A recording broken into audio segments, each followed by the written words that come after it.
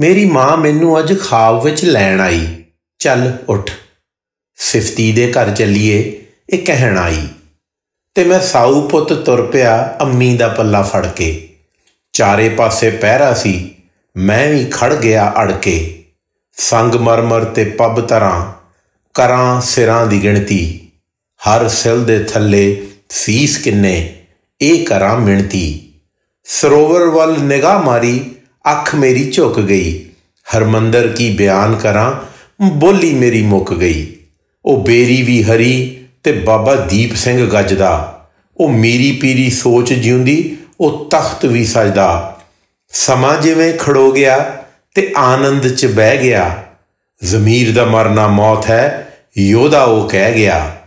ਤਿਲ ਫੁੱਲ ਸੇਵਾ, ਭਾਈ ਮੇਰੀ ਮਾਂ ਨੇ। ਸ਼ਹੀਦਾਂ ਵਾਲੀ ਥਾਂ ਮੱਥਾ ਟਿਕਾਈ ਕੀਤੀ ਮੇਰੀ ਮਾਂ ਨੇ। ਫੜ ਲਈ ਮੈਂ ਜਿੱਦ, ਕਾਲਾ ਸਾਫਾ ਲੈਣ ਦੀ। ਝਟ ਜੇ ਉਹ ਮੰਨ ਗਈ, ਬਸ ਦੇਰ ਸੀ ਉਹ ਕਹਿਣ ਦੀ। ਫਿਰ ਆਈ ਆਵਾਜ਼ ਤੇ ਖਾਬ ਮੇਰਾ ਟੁੱਟ ਗਿਆ।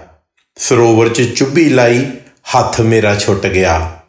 ਨੀਂਦੋਂ ਉੱਠੀ ਕਲਮ ਚੱਕੀ, ਸਿਆਹੀ ਸੀ, ਦਵਾਤ ਸੀ। ਸਰੋਪਾ ਸੀ, ਪ੍ਰਸ਼ਾਦ ਸੀ, ਸ਼ਹੀਦਾਂ ਨਾਲ ਮੁਲਾਕਾਤ ਸੀ